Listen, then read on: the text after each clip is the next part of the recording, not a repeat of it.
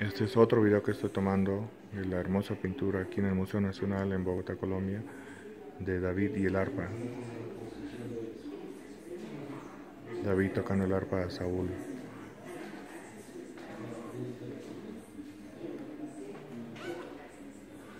Es difícil apreciar el detalle debido al reflejo de la luz.